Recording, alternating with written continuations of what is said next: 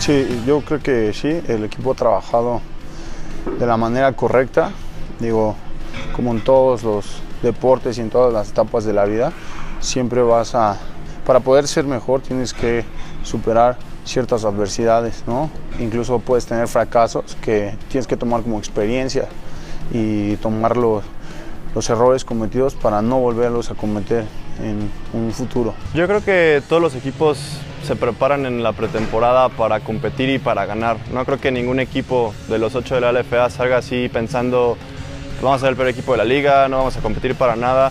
Al fin de cuentas es un deporte de competencia y creo que para eso se preparan. Nosotros nos preparamos desde junio del año pasado.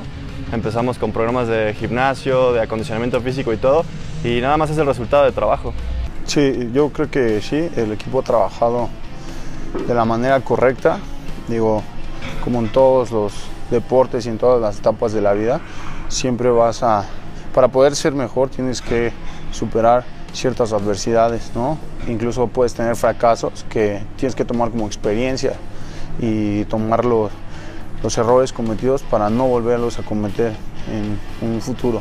A mí me gustaría despedirme con un campeonato. Es por lo que estamos trabajando. Fue el, el objetivo planteado a principio de temporada.